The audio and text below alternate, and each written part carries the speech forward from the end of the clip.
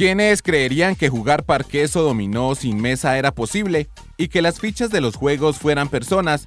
Pues sí es posible, y los adultos mayores lo vivieron en el marco de la Semana del Movimiento y el Deporte. El parqués, también hicimos la actividad del dominó, nos gustó mucho porque compartimos, nos desestresamos y, volvimos a la, a la sala niñez.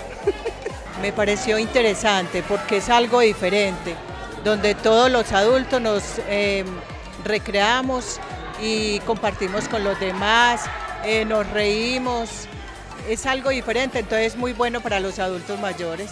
No solo juegos de mesa, sino también baile y adivinanzas hicieron parte de estas actividades, donde se divertían mientras hacían deporte, trayendo beneficios a su salud. Estas actividades para los adultos mayores son muy buenas y gracias a la Dirección de Deportes que tuvo en cuenta y vinculó a los adultos mayores con las actividades, ya que eso trae muy buen beneficio para ellos, lo que es coordinación, movimiento, baile, trabajo de memoria y lo hicieron una parte lúdica, o sea que lo sacaron como de ese contexto que nosotros hacemos diario o que ellos están acostumbrados que es trabajo de máquinas, mancuernas y todo eso, y esta vez lo hicieron como con juegos tradicionales.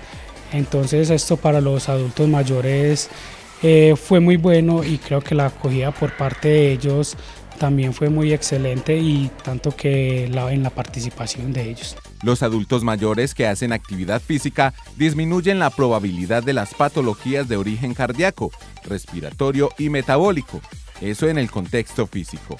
En los procesos mentales ayuda a la socialización, rendimiento y mejoramiento de su calidad de vida. Eso, pongo